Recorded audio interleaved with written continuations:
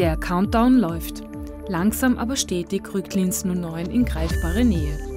Die Stimmen der Kritik sind deswegen nicht leiser geworden. Dafür ist die To-Do-Liste einfach noch zu lang. Wenn auch sonst noch vieles nicht passt, zumindest auf eine herzliche Begrüßung können sich Kulturgäste im nächsten Jahr freuen. In insgesamt 48 Sprachen heißt der Gasometer der Föst in Zukunft Besucher von Linz willkommen. Noch bis Herbst soll Tag für Tag gepinselt werden, was das Zeug hält. Aber schon jetzt lässt sich erahnen, dass der Turm künftig als Willkommensbote fungieren wird. Allen Kritiken zum Trotz, zumindest bei der Föst malt man sich die Kulturhauptstadt in den schönsten Farben aus.